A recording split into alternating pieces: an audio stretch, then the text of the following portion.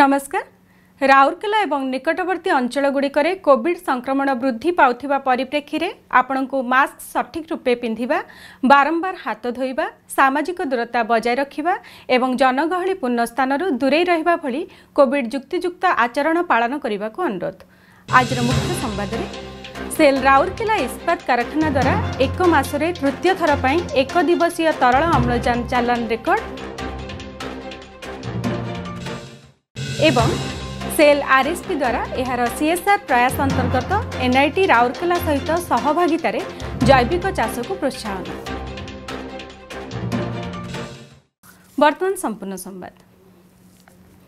Cell Rourkela ଇସ୍ପାତ କାରଖାନା RSP ଦ୍ୱାରା ନିରବଚ୍ଛିନ୍ନ ରୂପେ ତରଳ ମେଡିକାଲ ଗ୍ରେଡ୍ ଅମ୍ଳଜାନ ଏଲ୍ଏମ୍ଓ ଯୋଗାଇ ଦେଇ ଦେଶର ସ୍ୱାସ୍ଥ୍ୟସେବା ବ୍ୟବସ୍ଥାକୁ ସହାୟତା କରିବା ପାଇଁ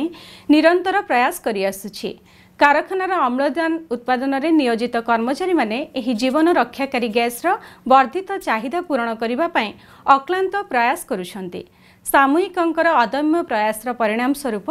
ଆର୍ଏସ୍ପି ଗୋଟିଏ ମାସରେ ତୃତୀୟ ଥର ପାଇଁ ମଇ ସତର ତାରିଖରେ ଛତିଶଟି ଟ୍ୟାଙ୍କରରେ ଛଅଶହ ତେଇଶ ଦଶମିକ ଚାର ଆଠ ଟନ୍ ତରଳ ଅମ୍ଳଜାନ ପଠାଇ ଏକ ଦିବସୀୟ ଚାଲାଣ ରେକର୍ଡ ସୃଷ୍ଟି କରିଥିଲା ଏଥିରେ ଚାରିଟି ଟ୍ୟାଙ୍କର କନସାଇନମେଣ୍ଟ ସାମିଲ ରହିଛି ଯାହା ରେଳ ଯୋଗେ ତାମିଲନାଡୁକୁ ପଠାଯାଇଥିଲା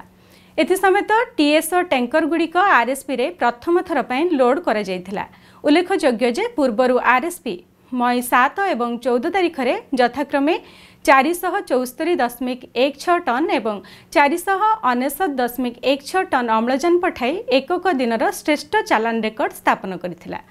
ଅକ୍ସିଜେନ୍ ପ୍ଲାଣ୍ଟ ସାମୂହିକଙ୍କୁ ଅଭିନନ୍ଦନ ଜଣାଇବା ସହ ସିଇଓ ଶ୍ରୀ ଦୀପକ ଚଟ୍ରାସ କହିଥିଲେ ଯେ ବର୍ତ୍ତମାନର ଆହ୍ୱାନପୂର୍ଣ୍ଣ ସମୟରେ ଦେଶ ପାଇଁ ସେବା ଯୋଗାଇ ଦେଇ ଟିମ୍ ଆର୍ଏସ୍ପି ଗର୍ବିତ। ସୂଚନାଯୋଗ୍ୟ ଯେ ମାନ୍ୟବର କେନ୍ଦ୍ର ପିଏନ୍ଜି ଏବଂ ଇସ୍ପାତ ମନ୍ତ୍ରୀ ଶ୍ରୀ ଧର୍ମେନ୍ଦ୍ର ପ୍ରଧାନଙ୍କ ନିର୍ଦ୍ଦେଶ ଏବଂ ମାର୍ଗଦର୍ଶନରେ ରାଉରକେଲା ଇସ୍ପାତ କାରଖାନା ସାମୂହିକ ଦେଶର ବିଭିନ୍ନ ସ୍ଥାନକୁ ଅମ୍ଳଜାନ ଯୋଗାଇ ଦେବା ପାଇଁ ଦିବାରାତ୍ର ନିପୁଣ ରୂପେ କାର୍ଯ୍ୟ କରୁଛନ୍ତି। ଇସ୍ପାତ କାରଖାନା ଦୁଇ ହଜାର ଏକୋଇଶ ମଇ ଏକରୁ ସତର ତାରିଖ ପର୍ଯ୍ୟନ୍ତ ଦୈନିକ ହାରାହାରି ପ୍ରାୟ ତିନିଶହ ପଞ୍ଚଷଠି ଟନ୍ ହାରରେ ସମୁଦାୟ ଛଅ ହଜାର ଦୁଇଶହ ତେର ଦଶମିକ ଦୁଇ ଏକ ଟନ୍ ତରଳ ମେଡିକାଲ ଅମ୍ଳଜାନ ଯୋଗାଇଛି ଅପ୍ରିଲ ଏକ ତାରିଖରୁ ଏପର୍ଯ୍ୟନ୍ତ ଆର୍ଏସ୍ପିର ଅକ୍ସିଜେନ୍ ପ୍ଲାଣ୍ଟରୁ ନଅ ହଜାର ନବେ ଟନ୍ରୁ ଅଧିକ ତରଳ ମେଡିକାଲ ଅମ୍ଳଜାନ ଦେଶର ବିଭିନ୍ନ ରାଜ୍ୟକୁ ଟ୍ୟାଙ୍କର ଦ୍ୱାରା ଉଭୟ ସଡ଼କ ତଥା ଭାରତୀୟ ରେଳବାଇ ପରିଚାଳିତ ଅମ୍ଳଜାନ ଏକ୍ସପ୍ରେସ୍ ଦ୍ୱାରା ଯୋଗାଇ ଦିଆଯାଉଛି। ସେଲ୍ ରାଉରକେଲା ଇସ୍ପାତ କାରଖାନା ଏବଂ national institute of technology NIT ମଧ୍ୟରେ ମଇ ପନ୍ଦର ତାରିଖରେ institute for peripheral development sector କୋଡ଼ିଏରେ ଏକ ପ୍ରକଳ୍ପ ବର୍ଜ୍ୟରୁ ଐଶ୍ୱର୍ଯ୍ୟ ଆର୍ଏସ୍ପି ପାର୍ଶ୍ୱାଞ୍ଚଳର ବିଶେଷତ୍ୱ ମହିଳା ଚାଷୀମାନଙ୍କ ପାଇଁ ନିରନ୍ତର ଓ ଅଭିନବ ଜୈବିକ ଚାଷ କୌଶଳ କାର୍ଯ୍ୟାନ୍ୱୟନ ନିମନ୍ତେ ଏକ ବୁଝାମଣାପତ୍ର ସ୍ୱାକ୍ଷରିତ ହୋଇଥିଲା ଏନ୍ଆଇଟି ନିର୍ଦ୍ଦେଶକ ଡକ୍ଟର ଏ ବିଶ୍ୱାସ ଏବଂ ସହର ପ୍ରଶାସନ ଏବଂ ସିଏସ୍ଆର୍ ବିଭାଗର ସିଜିଏମ୍ ଇନ୍ଚାର୍ଜ ଶ୍ରୀ ଅଜୟ କୁମାର ନାୟକ ଉଭୟ ପ୍ରତିଷ୍ଠାନ ପକ୍ଷରୁ ବୁଝାମଣାପତ୍ରରେ ସ୍ୱାକ୍ଷରିତ କରିଥିଲେ ସୂଚନାଯୋଗ୍ୟ ଯେ ନାବାର୍ଡର ପରାମର୍ଶ ଶାଖା ନାବାଂଶକ ନାବକଂଶ ଦ୍ୱାରା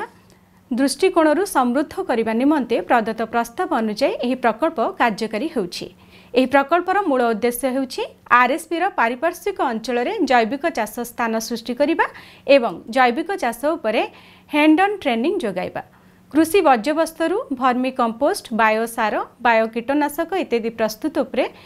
କୃଷକମାନଙ୍କୁ ତାଲିମ ଦେବା ଏହାର ଲକ୍ଷ୍ୟ ରହିଛି। ବୈଜ୍ଞାନିକ ହସ୍ତକ୍ଷେପ ଉପରେ ଜ୍ଞାନ ପ୍ରଦାନ ଜୈବିକ କୃଷି ଅଧୀନରେ ଟେକ୍ନୋଲୋଜି ହସ୍ତାନ୍ତର ଅନୁସନ୍ଧାନ ଏବଂ ବିକାଶକୁ ପ୍ରୋତ୍ସାହିତ କରିବା ସହିତ ଜୈବିକ କୃଷି ତାଲିମ ପ୍ରାପ୍ତ ବ୍ୟକ୍ତିଙ୍କ ଉପରେ ସେମାନଙ୍କର ସାମାଜିକ ଅର୍ଥନୈତିକ ବିକାଶ ଉପରେ ପ୍ରଭାବ ଆକଳନ କରିବା ମଧ୍ୟ ଏହାର ଲକ୍ଷ୍ୟ ରହିଛି।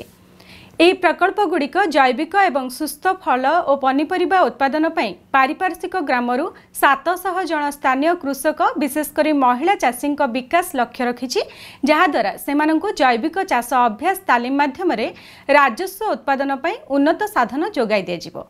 ଏଥିସହ ଏହା ଏକ ଦୃଢ଼ ସଂଯୋଗ ସ୍ଥାପନ କରିବାରେ ସାହାଯ୍ୟ କରିବ ଏବଂ ମହିଳା ସ୍ୱୟଂ ସହାୟକ ଗୋଷ୍ଠୀ ସରପଞ୍ଚ ଗ୍ରାମର ବୟୋଜ୍ୟେଷ୍ଠ ବ୍ୟକ୍ତି ବ୍ଲକ ବିକାଶ ଅଧିକାରୀ ଇତ୍ୟାଦି ସହିତ ନେଟୱାର୍କିଂକୁ ମଜବୁତ କରିବ ଯାହାକି ପାର୍ଶ୍ୱବର୍ତ୍ତୀ ଅଞ୍ଚଳରେ ସିଏସ୍ଆର୍ ସମ୍ବନ୍ଧୀୟ କାର୍ଯ୍ୟର ସମନ୍ୱୟ ଏବଂ ସହଯୋଗ ପାଇଁ ପ୍ରମୁଖ ନୋଡାଲ ପଏଣ୍ଟ ଅଟେ। ସମ୍ବାଦ କକ୍ଷରୁ ଆଜି ପାଇଁ ଏତିକି। ନମସ୍କାର।